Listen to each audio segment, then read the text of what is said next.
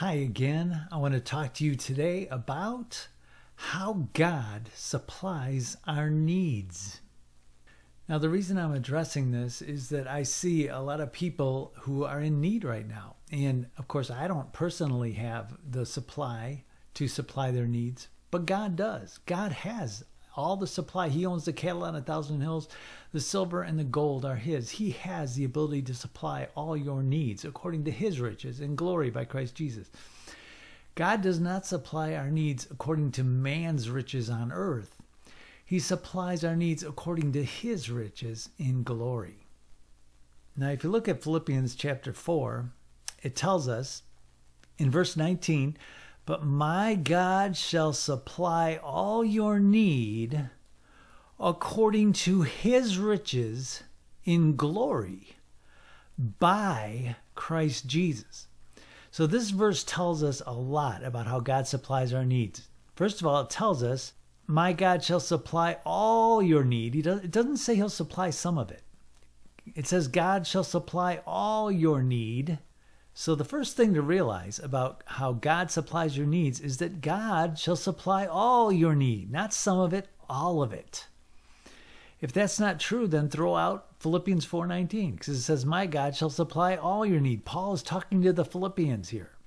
And he just got through saying in verse 18, "I have all and abound." I am full, having received of Epaphroditus the things which were sent from you, a sweet odor, a sweet smell, a sacrifice acceptable and well pleasing to God. But notice he says that I have all and abound. Now, was this true because of the gift that was sent by the Philippian church? No. If that's true, why does it say in verse 19, My God shall supply? My God. It doesn't say that the, the church in Philippi will supply my needs according to their riches on earth. It says, my God shall supply all your need. He's talking to the Philippians, and he's saying that the same way God supplies his needs, God supplies their needs. My God shall supply all your need, all of it. Not some of it, all of it. And how does he do it? According to his riches in glory. Now, is this according to people's riches on earth? No. It's according to his riches in glory. Now, I've heard people say, well, yeah, but God doesn't counterfeit money, so he does it through people. Okay, yes, God does it through people. That's true. And God doesn't counterfeit money. That's true. But I want you to notice something God supplies your needs. He's not talking about money here. Money is a, a means to supply your needs. Money's not the only way to supply your needs, it's a means to supply needs. But God shall supply all your need, the need itself. Not the he doesn't say he'll supply money. He says he shall supply all your need. What do you need?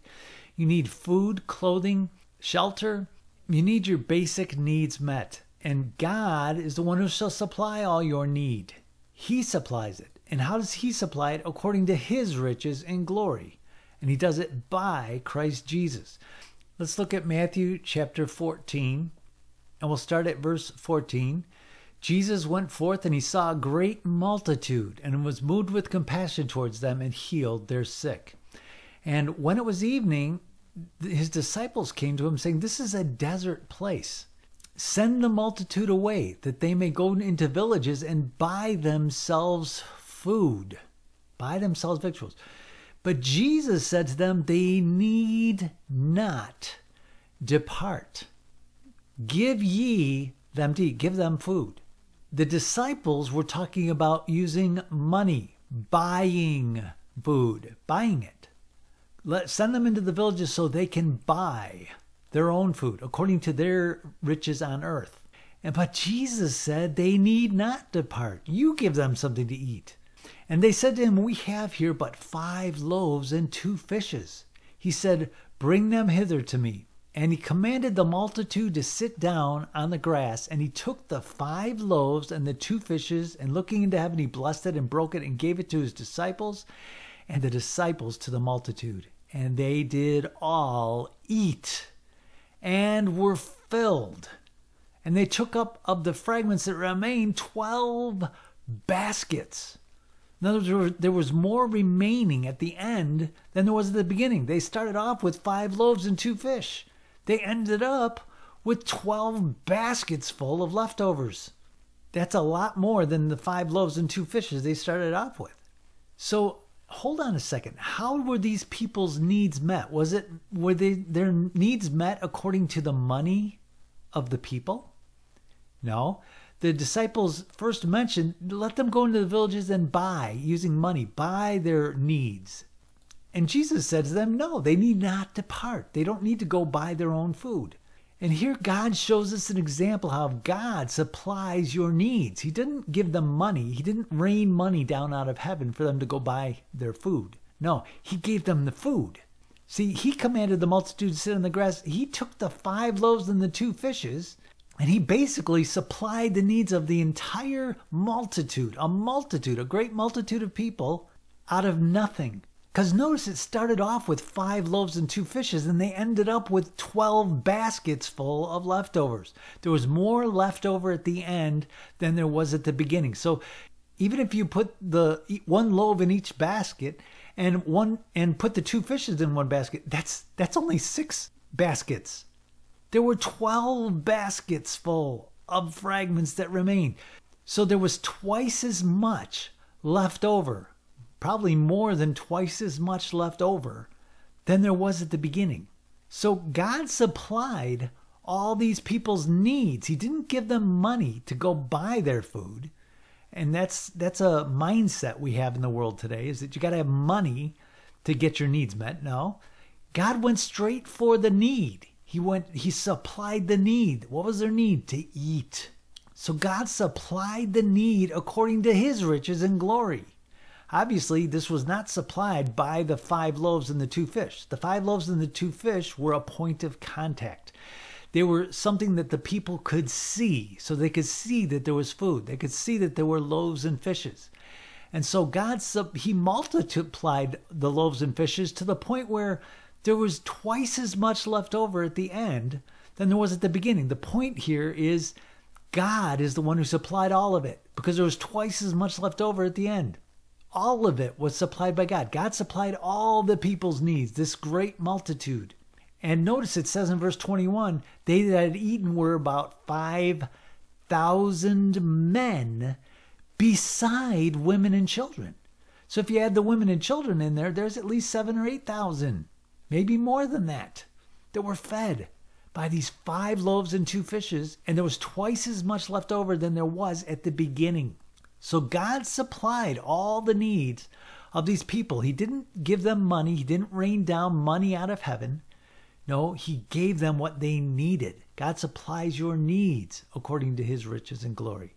So if you look at Philippians chapter 4 again, and verse 19, you see here, but my God shall supply all your need according to his riches and glory. It doesn't mean God will supply money, it means he will supply everything you need. He will do it according to his riches and glory. It wasn't according to the loaves and fish that he supplied those people because there was twice as much left over at the end than there was at the beginning. So we know none of that the loaves and fish were needed. The loaves and fish were just a point of contact. They were there was something to start with so that the people could see there was something there. It was a point of contact. But God didn't need those loaves and fishes to feed the people. He didn't need it because there was twice as much left over at the end than there was at the beginning. So God supplied all their needs, and their need was to eat. Food was what was needed. God supplied their need of being able to eat, and He did it according to His riches and glory. He did not do it according to man's riches on earth. God did not supply according to fishes that were caught by men according to bread that was made by men, according to money that was earned by men, and they're being able to purchase it? No, that's not what God supplied. God supplied all their needs according to his riches and glory, and he went straight to the source of the need. What was the need? Food. He gave them food. They didn't need money. Money is a means. Money is one means by which supply can be brought to you. But God supplies the actual need. The money is a means, God is another means. God supplies just like money will supply your needs. Money will supply your needs. You can buy things with money. But God is the other sourcer. He says He shall supply all your need. In other words, outside of money. If God gives you uh, an ability in something, that ability, that talent He gave you, yes, that'll give you money that will supply your need. Yes, it will. But whether you had that job or not, this is true. God shall supply all your need, which is food, shelter, clothing. Those are basic needs. God shall supply those according to his riches, not according to money, but according to his riches and glory. And then the last part of this verse is the most important part by Christ Jesus. God supplies all your needs according to his riches and glory by Christ Jesus. Now, when we saw that when the loaves and fish were multiplied by Jesus, he's the one who did it. It was by Christ Jesus that those needs were supplied. And that's just a very obvious showing of this principle. But this principle here in Philippians 4:19 is explained to us in several places in the Bible where this by Christ Jesus comes into play for all of us. In 2 Corinthians chapter 8, it says in verse 9, For you know the grace of our Lord Jesus Christ. How does God supply our needs? According to his riches and glory by Christ Jesus. Verse 9, But you know the grace of our Lord Jesus Christ, that though he was rich, yet for your sakes he became poor, that you through his poverty might be rich. Now, a person who is rich has all their needs met and then some. The grace of our Lord Jesus Christ is that though he was rich, now Judas stole from Jesus' money bag knowing no one would even realize it. In other words, there's so much money in there that there was no reason to even worry about people recognizing that there was money taken from it because Jesus never used his money bag. He had a money bag that Judas stole from and that money bag was never used. If you look at every time that Jesus ever met a need, he never went to his money bag. That money bag, he didn't say to his disciples, okay, go get some money out of the money bag and let's go supply that need. No, he supplied the need. He healed the person who needed healing. He supplied food for the people that needed food. He supplied for people without using his money bag. So here we see that the grace of our Lord Jesus Christ is that though he was rich, we know he was rich. When he died on the cross, they cast lots for his undergarment because it was so valuable. Jesus had all his needs met throughout his entire ministry and then some. He was always he always had plenty. Jesus never went without. If you look at his ministry, Jesus never went without anything. He always had more than enough for him and his disciples. Some people will say, oh, yeah, it's because he had a money bag. Well, the Bible never, ever, ever shows him going to his money bag. The money bag's only mentioned in regard to Judas, who stole from it. In other words, Judas was depending on money, he wasn't depending on Jesus. Even when Jesus paid the two drachma tax for him and Peter, he had him go catch a fish. And the first fish he caught had a four drachma coin in it that paid the tax. In other words, he didn't go to his money bag. He never went to his money bag. Jesus was rich in every way. He had extra. He had that money bag full of money he never used. He was rich because he had all his needs met, plus he always had extra. So we know the grace of our Lord Jesus Christ that though he was rich, Jesus was rich, yet for your sakes, for whose sake? For your sake, he became poor.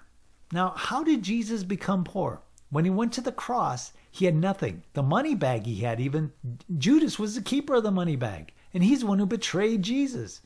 So Jesus didn't have his money bag anymore, even when he went to the cross. He didn't have his clothes. He was naked when he went to the cross. He had nothing. He was completely poor when he went to the cross.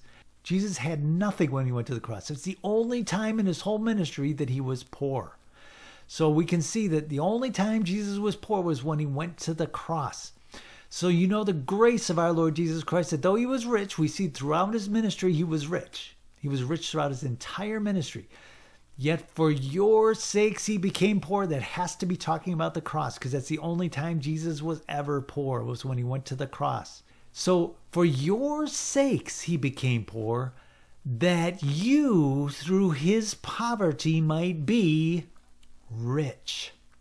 Now, what is being rich? Being rich is having all your needs met and extra, having more than enough. And it's through his poverty that you are made rich. It's through his poverty, that you through his poverty might be made rich. Now we know what he did at the cross, he did for the whole world.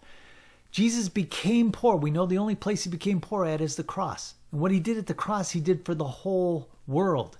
If we look at 1 John chapter 2 verse 2, it says, "And he is propitiation for our sins. Jesus is the propitiation for for Christian sins and not for ours only, but also for the sins of the whole world. See, Jesus took the sins of the whole world. It doesn't do the world any good unless they believe in him, but he took the sins of the whole world so whoever believes in him would not perish but have eternal life, like John 3:16 says. 2 Corinthians chapter 5 verse 19 to wit that God was in Christ reconciling the world to himself. Who did God reconcile to himself? God reconciled through Christ, he reconciled the world unto himself not counting their trespasses against them. Why is that? Because Jesus took the sins of the whole world. We just read that in 1 John 2 2. He was not imputing, imputing their trespasses against them. So God was reconciling the whole world to himself. He took the sins of the whole world. Jesus Christ took the sins of the whole world. So when we go back to chapter 8 of Second Corinthians and we look at verse 9, we know the grace of our Lord Jesus Christ, that though he was rich, yet for your sakes he became poor, that the only place he ever became poor was at the cross, and what he did at the cross, he did for the whole world, that you through his poverty might be rich. So, in other words, everyone in the world can be made rich, have all their needs met, and then some, through his poverty. And how did his poverty come? For your sakes he became poor. That only happened at the cross. That's the only place where Jesus was ever made poor. We see this again in Galatians chapter 3 and verse 13. Christ has redeemed us from the curse of the law, being made a curse for us. For it is written, Cursed is everyone that hangs on a tree. That's the cross. Jesus hung on the cross. Jesus took the curse by hanging on the cross. He redeemed us from the curse of the law. And as I've pointed out many times before, the curse of the law includes poverty. If we look at Deuteronomy 28, and we look at the curse of the law, starting at verse 15, it says, But if it, it, shall come to pass that if you shall not hearken unto the voice of the Lord your God, to observe all his commandments, to do his statutes that I command you this day, that all these curses shall come upon you. This is the curse of the law, his commandments and statutes. If you don't observe them, this curse, these curses shall come upon you. This is the curse of the law. And what happens if you don't obey God's commandments under the old covenant? This is what we're redeemed from. This curse is what we're redeemed from. Cursed shall you be in the city, cursed in the field. Cursed shall be your basket and your store. That's your provision. Cursed shall be the fruit of your body and the fruit of your land, the increase of your kind and the flocks of your sheep. Well, that's your, your supply. That's all your supplies that give you food. The fruit of their body, the fruit of their land, the increase of your kind and the flocks and their sheep. The curse of the law includes all your needs not being met. And it goes on and on throughout this whole curse, all the way through verse 68. It just goes on and on with this curse that includes all manner of sickness and disease and all manner of poverty in every way in which you can get poverty by plagues, by your enemies. Your enemies shall distress you all, at all your gates. In verse 66, your life shall hang in doubt before you. Your very life will be in doubt and you shall fear day and night, and shall have none assurance of life. That means you don't have your needs met. So Galatians chapter 3 verse 13 is basically telling us that Christ has redeemed us from all the poverty that came from the curse. He redeemed us from the curse of the law, which includes poverty, not having your needs met. Christ redeemed us from that. How did he do it? By hanging on the tree, at the cross. So once again, if we look at Philippians chapter 4, and verse 19 My God shall supply all your need according to his riches in glory by Christ Jesus. Christ became poor so you through his poverty might become rich. Christ redeemed us from the curse of the law. We saw the example of Jesus feeding the the 5,000 men and we know as many more than that including women and children by five loaves and two fish and having twice as much left over as there was in the beginning. In other words, all the needs were supplied by God. All of it was supplied by God. None of it was supplied by the original five loaves and two fish. The five loaves and two fish, there was twice as much left over at the end. So those didn't supply any of the needs. God supplied all the need of those 5,000 people. But God supplies all your need, the actual need, according to his riches in glory, not his riches on earth, according to his riches in glory. In other words, those loaves and fish were multiplied into food that wasn't there. Those uh, the loaves and fish that fed those people were not the original five loaves and fish because there was more left over at the end than there was at the beginning. So this was all created by God. This was his riches and glory that was used to feed these people. You can call it multiplying the five loaves and the two fish. Yes, he did multiply it, but that was just a point of contact. The people needed to see something, that there was something there to begin with, including the disciples. They needed to see that there was something there to begin with. They had to have something to start distributing to the people. But God supplied all their needs. He supplied all the needs of those people, and He did it according to His riches and glory, all of it, all their needs. None of it was supplied by the original five loaves and two fish. Those five loaves and two fish, there was twice as much left over at the end. So that was not what supplied their needs. It was God's riches and glory that supplied the people's needs, and it was by Christ Jesus.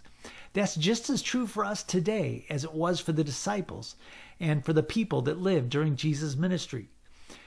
Christ redeemed us from the curse of the law, which includes all manner of poverty, sickness, and disease. Christ became poor at the cross so that we might become rich. We might have all our needs met and more. Having your needs met and more is what makes you rich.